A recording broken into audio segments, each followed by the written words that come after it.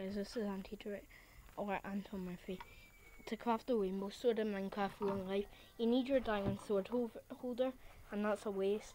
And you need your torch holder. You need like two torch holders, but I haven't got any more torch holders. And you need your pickaxe at the bottom, like digging into it. And then, if I make it, oh, takes hard work. Okay, guys, are you ready? Okay, are you ready?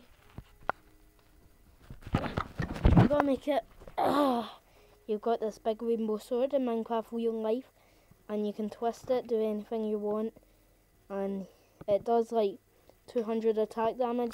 So you're gonna have fun in Hunger Games with these bad boys, and that's it. I, I dropped it. Uh, I lost a heart, maybe. Uh, yeah, yeah, I did. Uh, but anyway, guys, that's it for this video.